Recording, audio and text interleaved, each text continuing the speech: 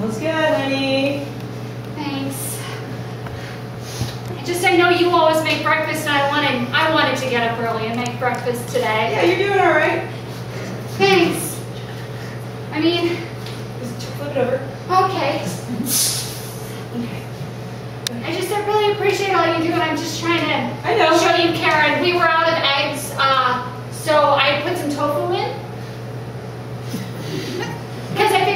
good for you, and it's kind of like a little damp too.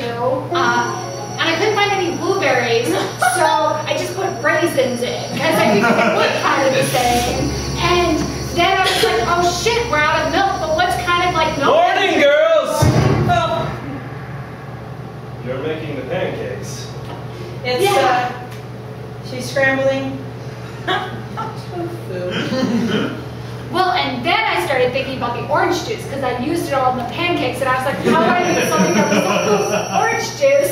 And so I found a lemon out back and a kiwi, and I put them in a blender, the whole thing. Good morning, Mom. I couldn't find my underwear, so I wore yours.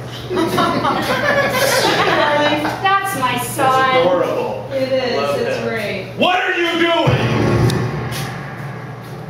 Deborah, your mom makes the pancakes. Something different today, you know, like try to act like a grown up. We told you never to make pancakes. Well, you technically said French toast the last time, but that's because I covered it in bacon grease, but I forgot about it, so they burned in the oven. And so then, hmm? I'm really most upset about the tofu. I mean, let it go easy on her. I know.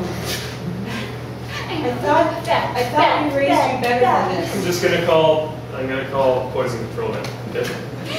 I'm sorry. I'm sorry. I just thought it would be nice to make breakfast. I just, I just thought it would be nice. Hey, Greg. Yeah, you're gonna want to come over again. I just, I just.